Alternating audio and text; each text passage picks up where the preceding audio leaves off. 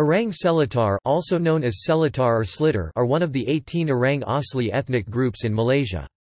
They are classified under the Proto-Malay people group, which forms the three major people group of the Orang Asli.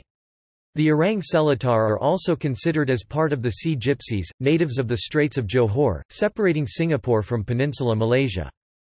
This little people live almost in the center of one of the most developed regions of the world, but remains virtually unknown to the general public. In the north of Singapore is the Seletar River, where there were previously Seletar people who lived there, but it is unknown whether these people got their name from the name of the river, or vice versa. Despite the proximity to developed civilization, the Seletar people still largely retain the traditional way of life.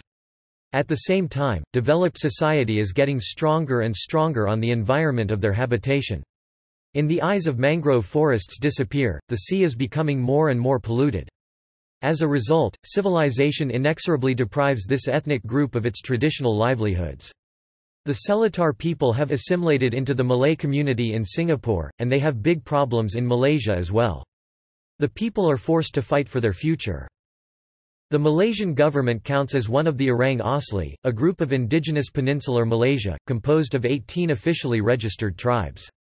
Orang Asli are sponsored Special Department of Orang Asli Development. .Until 2011 it was called the Department of Orang Asli Affairs Jabatan Hal Ehwal Orang Asli, JHEOA, the purpose of which is to raise the standard of living of the indigenous population to the average indicators of the country. Although the Orang Seletar were originally part of the Orang Laut, the Malaysian government and JAKOA classifies Seletar people as one of the indigenous Proto-Malay tribes, one of the three Orang Asli subgroups today. It is one of the few indigenous peoples of peninsular Malaysia, whose lifestyle is connected with the sea, not with the tropical forest. Proper name that these people would refer to themselves as Khan Seletar with the prefix Khan or simply Khan, which is believed to have Mon Khmer language origin. For comparison, in the Old Mon language and Middle Mon language, Khan means, a person belonging to a certain ethnic or social group. They speak in their own Orang Seletar language. Settlement area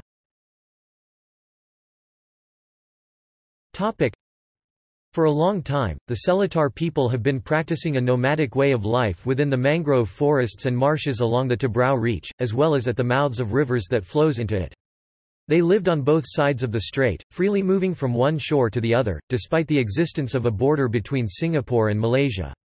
The width of the Straits of Johor in any place does not exceed 2 kilometers, and in some places does not exceed 500 meters. Such a narrow strip of water has never been a hindrance to sea nomads. At the end of the 19th century, mangrove forests dominated most of the coastal areas and in the estuaries of the rivers in northern Singapore. At the time of the arrival of the British colonial here, they accounted for about 13% of the island. It was here that most of the Seletar people lived. Mangrove is a unique repository of rich and diverse aquatic plant and natural resources, the operation of which has built a traditional economic complex of this people.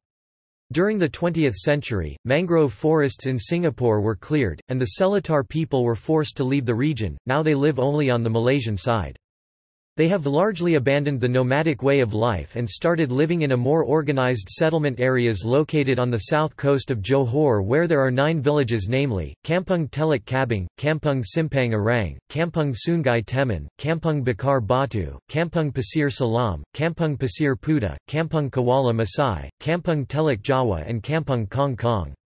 Some of these villages are farther from the coast. In the northern shore of Singapore in the 1980s there were three village villages, but now they do not exist anymore.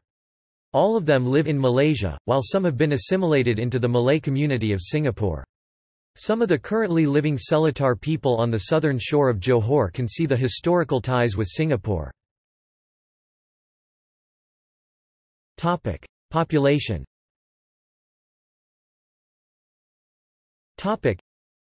the dynamics of the population in Malaysia is as follows Data from the 1996 census of the JHEOA recorded 801 Seletar people, of which 796 were in the state of Johor, and another five were in Selangor. Some sources, such as Ethnologue or Joshua Project, still report data on the presence of Seletar people in Singapore, but this is may not be accurate. According to Arifin, in his general assessment of the population, speaks of six or seven families of Seletar people remaining in Singapore, which is about 32 to 38 people. In Johor, he counted 514 Seletar people as of 1977. Today in Singapore, there are almost no more Seletar people remaining at all. Language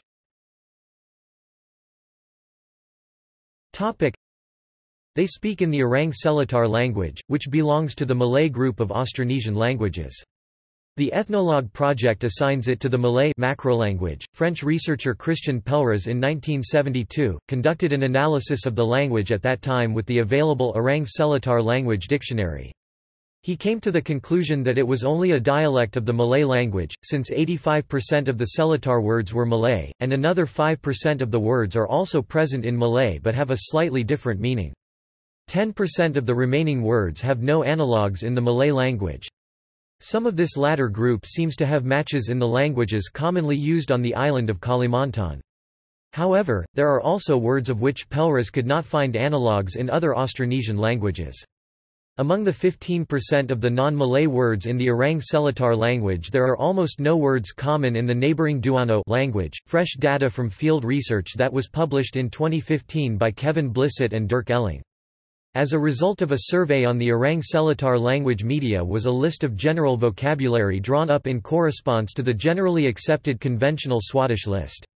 Answers of respondents were recorded on a digital voice recorder, and then decoded with the International Phonetic Alphabet. It provides valuable information on how to actually say spoken words. However, this is only the beginning of the research. This language still requires a huge amount of additional study and records before it is stored to a large extent. Like the findings of Pelras, these data capture the close lexical affinity of the Orang Seletar language with the Malay language. Many words are exactly the same as their correspondences in the Malay language, others can be derived from Malay words by simple phonological changes. A small group of words seems to be unique to the Orang Seletar language, without apparent connection with the Malay language. Such characteristics indicates it as a Malay dialect, but not as an entirely independent language, however, there are also strong counter-arguments. Firstly, the Orang Seletar language is not understandable to the Malay people. Secondly, both the Malay and the Seletar people considers the Malay language and Orang Seletar language as separate languages. In addition, it appears to have a significant grammatical differences between these two languages. There is an alarming situation with the state of the Orang Seletar language. So far, representatives of senior and middle-aged generations communicate with each other exclusively or mainly in their native language, but younger generations and people living outside the community are more likely to use Malay language. There was a situation where, with each generation, the caretakers of the Orang Seletar language became increasingly lesser, and what is even more disturbing is that lesser Seletar people are often teaching their mother tongue to their own children. Thus, there is a tendency towards the gradual displacement of the Orang Seletar language, similarly as well as the language of other indigenous Orang Asli peoples of peninsular Malaysia, with the standard Malay language. It is no surprise that the UNESCO includes the Orang Seletar language into the number of languages that are at serious risk of disappearance. There is no writing system in the Orang Seletar language.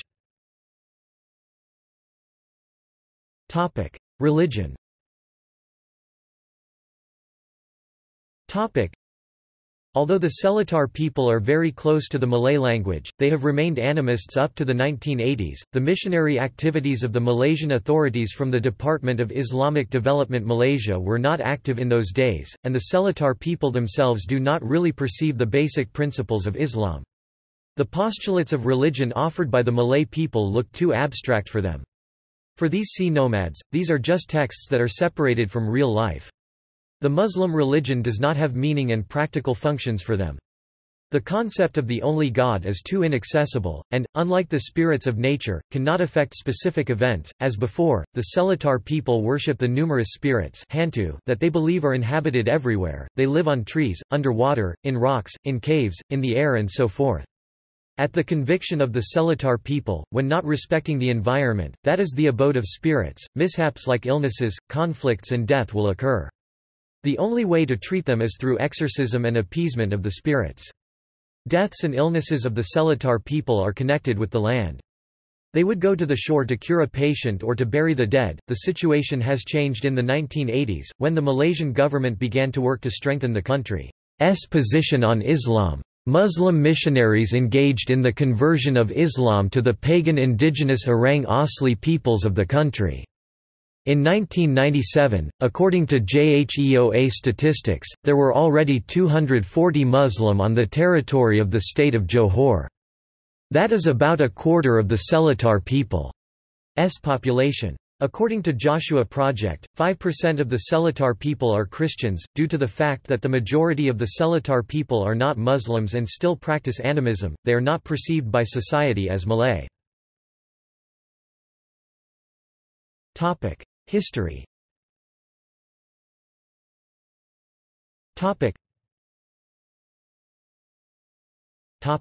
Pre-colonial period.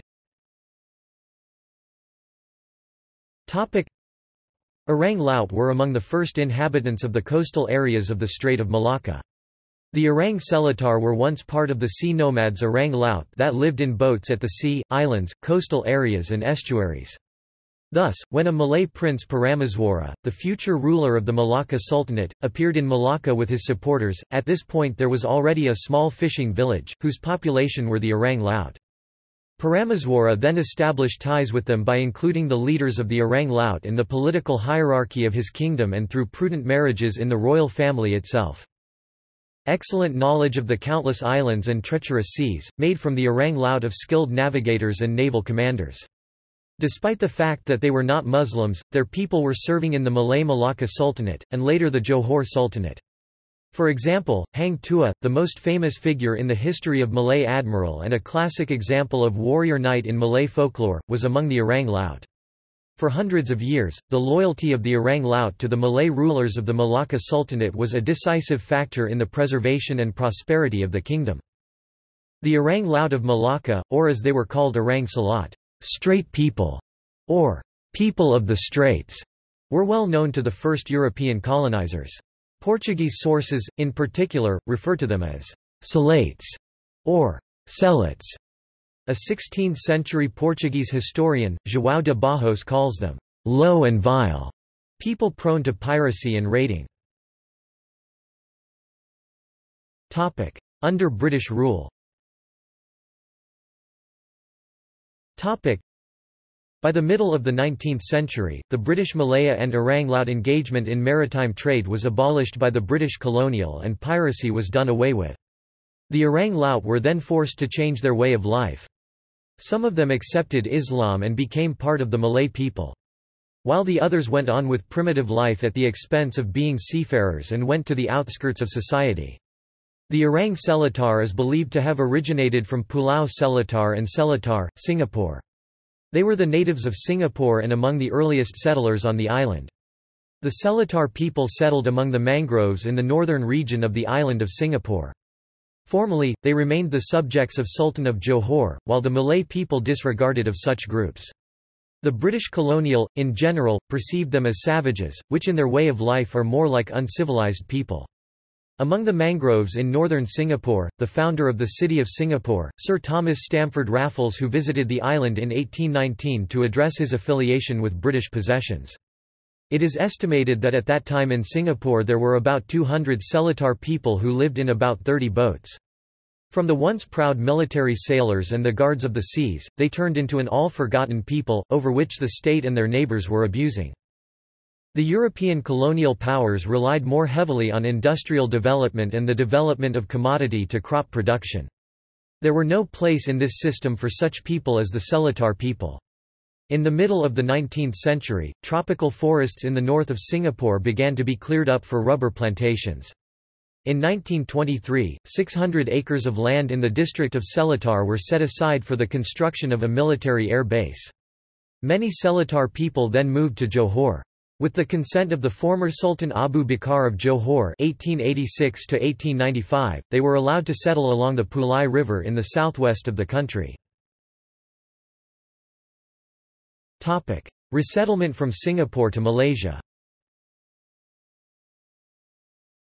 Topic: In the 1950s, 60s, Singapore's rapid economic development began. There is new development and opening of new lands. In addition, the Singapore government, which had just gained independence in 1965, expressed fears that the nomadic tribe, which freely crossed the state border, was potentially at risk of smuggling.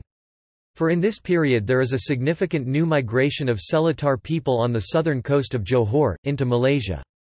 The Seletar people would recall the times when many civil servants and police appeared, asking them different questions. Back then they did not have passports nor do they have citizenship, and therefore they were scared to think that they might end up getting arrested. As a result, a significant part of the Seletar people at their own will moved to Johor. This incident happened around 1967. In the end, the entire tribe was resettled in Johor in accordance with intergovernmental agreements. All the Seletar people have become Malaysian citizens. However, by the end of 1987, they had been allowed to move freely through the Straits of Johor and officially without having to go through the immigration checkpoints.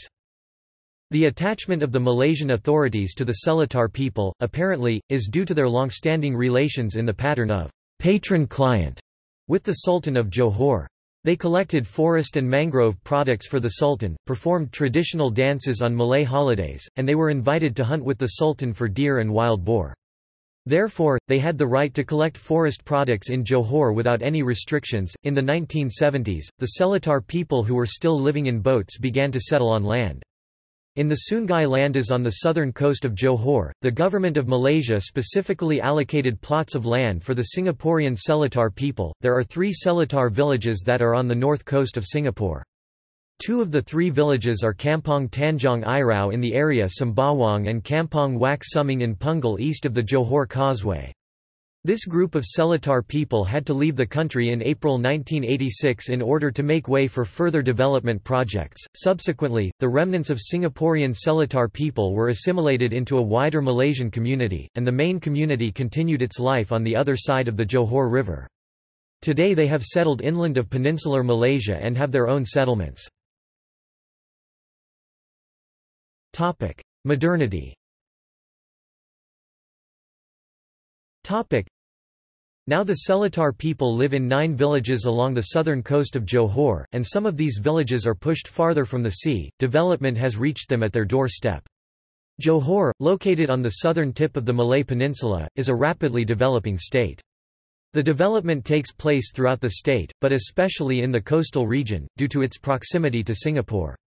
Southern Johor joined the ambitious project of Iskandar Malaysia, launched in 2006. The Chinese economic zone of Shenzhen, which is in close contact with Hong Kong, was taken as a model. So too, Iskandar Malaysia has to interact closely with Singapore. The project is one of the central places in Malaysia's ninth development plan. Seven of the nine village villages are located in the Iskandar Malaysia area of Malaysia. The new construction not only destroys the mangrove forests, but is already being adjusted to the villagers' homes. People feel that such actions simply force them to flee, but they are nowhere to escape. The complexity of the situation is also that only two settlement villages, namely Bakar Batu in the Johor Bahru district and Simpang Arang in the Gelang Patah district were partially officially declared as Orang Asli reserves under the Aboriginal Peoples Act 1954. The rest are living on land owned by the government or private individuals. Not having the permanent status of their settlements, at any time, at any time from any village, the Seletar people can be evicted if this is required by the needs of the region's development. 188 Seletar people, whom are residents of the villages of Bakar Batu and Sungai Teman, sued the High Court of the city of Johor Bahru against 13 defendants because of the invasion of their customary lands. They claim that they have acquired rights to their customary territories from at least the 1950s and therefore consider the further alienation of their territory to be illegal and void. Residents of one of the named villages in 2012 found 10 destroyed graves, which, in their opinion, was associated with the clearance of land for construction. This fact also appears in the lawsuit. The Seletar people in court were represented by a group of lawyers from the Bar Council's Committee on Orang Asli Rights. The piquancy of the situation is that among the respondents is not only the construction companies, but also the Iskandar Regional Development Authority the Department of Orang Asli Development the federal government of Malaysia and the Johor state government. Therefore, the hearing was delayed for several years. In December 2013, the High Court of Johor Bahru decided to stop the illegal incursion of the customary territory of the Seletar people and stop all work there until the matter is resolved. In the 24 June 2014, the appeal court dismissed two of the 13 defendants to abolish the ban, no matter how the trial ended, stopping the implementation of the Iskandar Malaysia project is no longer possible. Most villages are located not far from the sea, and these areas are the most attractive for commercial construction. In addition, there is an active cleansing of mangroves, causing the sea is becoming increasingly polluted. Thus, the Seletar people lose their traditional resources, which still needed to ensure their survival. The government is trying to resolve this issue in a delicate form by offering alternative forms of employment to the Seletar people. Individuals who are not indifferent are trying to draw attention to the fate of the people, the real threat of the loss of their unique traditional knowledge. Related publications were published in the media and on the Internet. In 2011, a 20-minute documentary about the Lot, Yuma Am, which is translated as See, My Home, was released. It gives the opportunity to look into the little-known life of the indigenous people, who for several generations called the Straits of Johor their home. Also in 2001, in the village of Sungai Teman, supported by private sponsors, opened a Seletar Cultural Center with its own museum exhibition, which aims to preserve cultural heritage in the hope that the younger generations will not forget the about their roots. Topic: Culture Topic. Topic. Lifestyle and traditional socio-economics Topic. The coastal zone of the islands in the Malay archipelago is marked by the wealth of marine flora and fauna. Still relatively recently, thick mangrove forests covered the shores of the Straits of Johor. Traditionally, the Orang Seletar are heavily dependent on sea produce.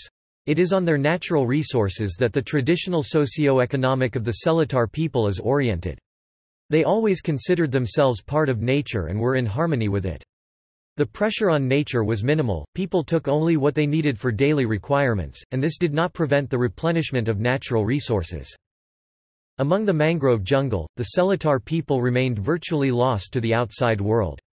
They wandered through the straits, a labyrinth of narrow streams, changing their location depending on the tides and season. To a large extent, they still retain this way of life nowadays, but their traditional living space has declined significantly. The Seletar people also enter in estuaries and climb up above the rivers that flow into the Straits of Johor. At the same time, they do not risk leaving into the open sea and never leave the waters of the narrow, shallow, and calm Straits of Johor. Until recently, the Seletar people lived in boats, which they called the Da M Pa U, or sampan in Malay language. Each boat was a real floating hut, designed for one family. Therefore, the boats were still called Satu Kelamin, meaning, one married couple. Despite the small size of the boat, all their lives took place here. In the boat, the Seletar people would prepare and yet cook food, and eat there, and also they would rest there. In the boat is where children are born and raised. Traditional Seletar boats are simple dugouts, which they had done before. This boat has a roof, called kajang, which functions as the roll of a canvas, covered with palm leaves. When it rains, such roofing would leak. It is very difficult in such conditions and sometimes it puts out the fire for cooking. Previously, only firewood are used for burning, but now they buy kerosene. In bad weather people find themselves a safe shelter among the protected mangroves. Due to the deforestation, the Seletar people no longer have the necessary materials to build their boats. Therefore, now they buy boats, by the way, of much better quality. People use their old skills to make models of traditional boats for sale to tourists. The basis of the traditional socio-economic of the Seletar people is the fishing of crustaceans shrimp, crabs, etc. In doing so, they use primitive equipment in the form of cans traps with holes, which are placed at the bottom by using iron hooks with a long wooden handle. The same primitive method was used until recently as their fishing equipment. The main instrument for fishing more precisely, hunting was a bamboo spear, jagged at the tip, it is called tikam. The important thing here is not the strength of the weapon, but the skill of the hunter in using with the spear, when he swims underwater. By the way, the Seletar people can fish with their bare hands. Handline fishing, which is called pansing, are often used. Up till today, they have practiced natural livelihood, and only sometimes they would go to the shore to exchange their catches of fish for rice and other products. Previously, they practiced barter operations exclusively, but now they use money to buy more rice, and even chicken, meat, sugar, coffee and, of course, clothings and kerosene. They do not need to buy vegetables. They have their own fish, shrimp and crabs. The basis of nutrients are made up of crabs and tapioca, which they call ubikayu. In addition to products, the mangroves provides a large reserves of valuable wood species. So the leaves of nipa palm are used for the construction of straw roofs and sugar is obtained from the juice of this plant. Pandan leaves goes on mats and coverings for canopy. On woods goes to gelim tree and other kind of mangroves rhizophora with local names such as Kayu bacau and Kayu rikau. Another useful plant is nibong from which fishing pins are made. They also collect various varieties of rattan. Some of these plant species are under protection, and only the Seletar people are free to collect them. Most of these products were not used by them, but were swapped from the Malaysian coastal regions for other goods. With years of depleting fish along the Straits of Johor and Singapore, they have become dependent on selling bacau wood from the mangrove. Hence, the need for them to live a nomadic lifestyle. However, the changes in their socio-economic have changed their way of living. There are those among them that have worked in industrial factories. Orang Seletar fishermen have also adapted modern equipment for fishing. There are even some of those that run seafood restaurants. Topic: Social structure. Topic: The social organization and the kinship structure of the Seletar people do not reveal any signs of hierarchy. However, they must have an elder that functions as a village head called Batin, who is officially appointed by the authorities to represent the local community in dealing with the Malay people. Family relations within the Seletar people are egalitarian and therefore by nature, they do not have a clear division of labor by gender. Man and woman are equally engaged in harvesting and fishing, and in contact with outsiders. The members of the custodial family are very devoted to each other, and they all work together. They do not go out to fish until all the members of the family come together. This is understandable, because, as a rule, three generations of the family always live together in the same boat. This situation raises some problems with the schooling of the Seletar's children, which is being implemented lately. Schoolchildren are forced to stay on the beach when their family leaves for the sea. As a way out, they use the help of their neighbors that remain behind at this time in the village. They stay close, so that they can look after the children while their family is absent. For the children, assistance to parents or grandparents in fisheries is not considered a routine, instead, this is a form of recreation for them as they can then jump into the water and get out of the boat. Children aged three years are taught to swim, by simply throwing them into the sea. If children who are four years old are not yet able to swim, the mother would then feed them with fried sand shark meat. This, as they believe, should help the children to be able to learn to swim. Consequently, for Seletar children, to be able to swim is considered natural and, when they grow up, they can already swim underwater without using an oxygen mask for more than 10 minutes. They are able to see the fish underwater and can catch it with bare hands. The Seletar people believe that seawater is rejuvenating, as opposed to freshwater. They prefer taking a bath using seawater, because they then feel more energetic, and freshwater is considered to weaken the activity of their body. Topic: Legends. Topic: There is a legend among the Seletar people that is similar to the biblical story of the world flood. The Seletar legend has it that one day, there was a long rain in Johor that poured out for 40 days and 40 nights. The water level has risen up to the foothill of the Pulai mountain. In order to withstand the strong flow of water current, the Seletar people bound together all their floating huts. But, unfortunately, the rope broke off. Some of them were lost to the flood. Topic. Relations with neighboring people Topic. The Seletar people have a very vague idea of the existence of other groups of sea nomads. Moreover, they do not feel affinity with them, instead, they have a certain affinity with Jakan people, the Malay natives of the inland areas of peninsular Malaysia. They say, for example, that they and the inhabitants of the Kluang district understand the language of each other, and these languages have 70% of common elements, although this statement is not verified.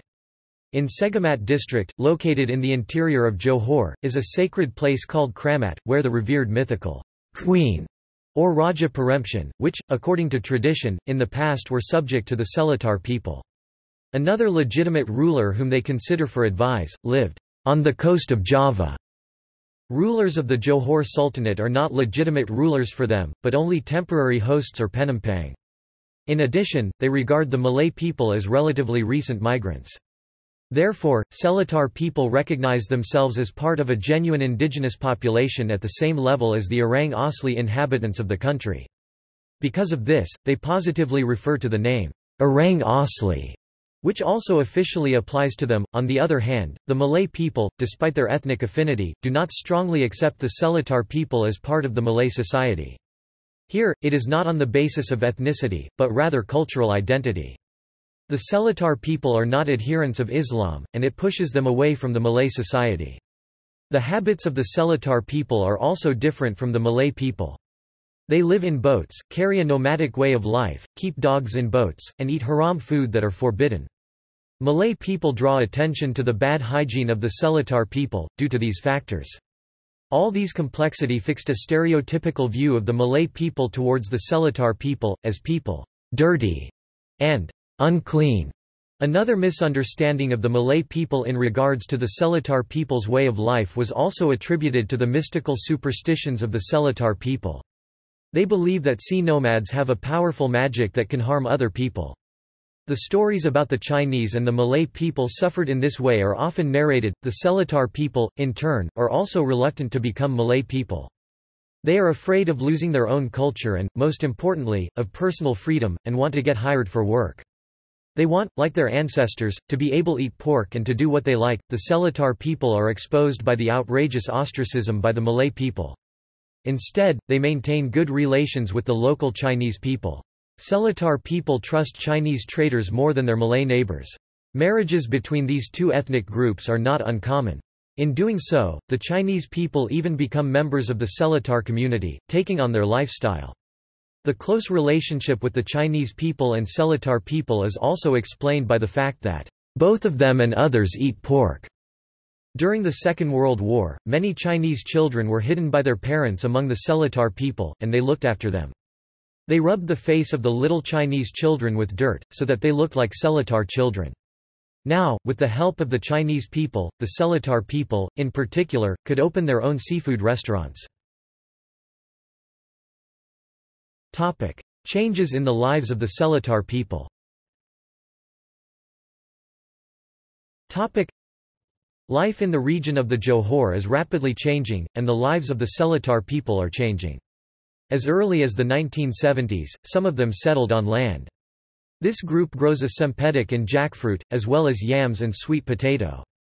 They also collect mangrove wood for a Chinese-owned charcoal fuel company, encouraging the transition of the Seletar people to permanent settlements. The Malaysian government set up new villages on the coast for them. Now they live in special huts for them that are built on stilts above the water. Government officials have chosen this kind of settlements, taking into account the traditional way of life of these sea nomads and the fact that these people cannot live without the sea. At least once a day, the Seletar people continue to go out into the sea, and at night they bring home everything they could get during the day.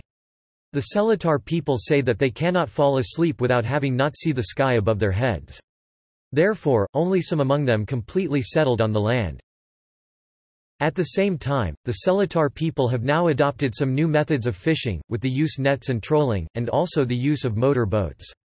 Malay people perceive such changes as the willingness of the Seletar people to become civilized, Datamadan, and to learn to live like the Malay people. However, the Seletar people continue to cling to their nomadic life, which gives them a certain degree of personal freedom. For this reason, they do not want to enter into a structured society, their children have problems with attending school, and the adults bogged with religious practices. Civilization is rapidly and steadily advancing onto the traditional life of the Seletar people, and they are unable to stop this oncoming. In order to survive in the context of urbanization and social change, they must master new skills and new means of generating income.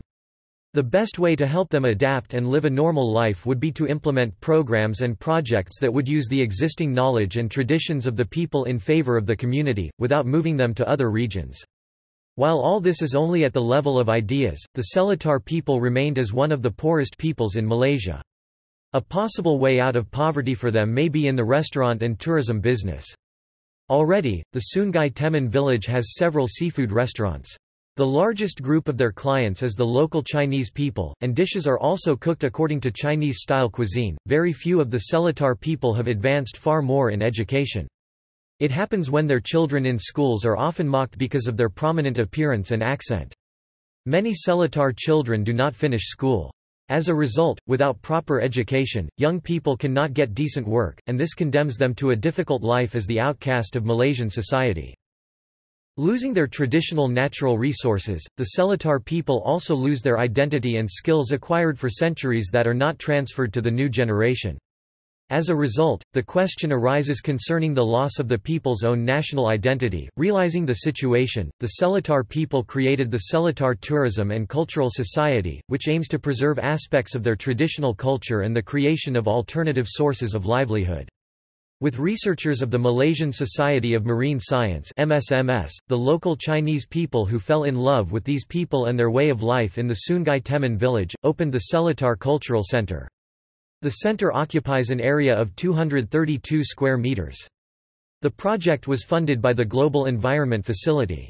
Among them are the exhibition of old black and white photographs made by English photographer, Ivan Polunin, archival documents and maps that tell about the history of the Seletar people, the model of their traditional boats and types of hunting instruments used in this tribal community. The Seletar Cultural Center has its own page on Facebook. References